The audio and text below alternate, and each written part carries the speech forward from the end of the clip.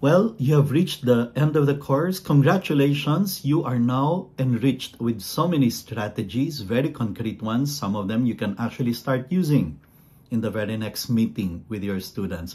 And many of them do not cost a thing.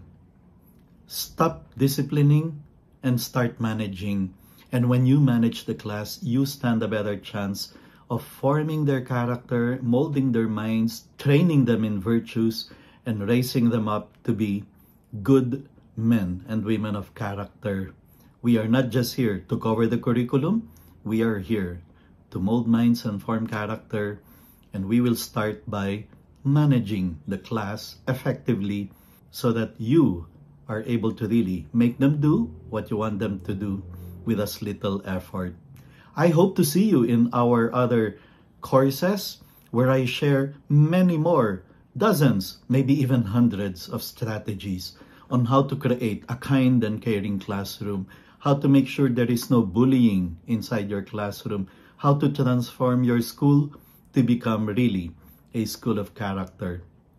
Good luck in your endeavor of managing your classes, and I hope we will be again together in some other courses in the future. Congratulations for having finished this course and good luck.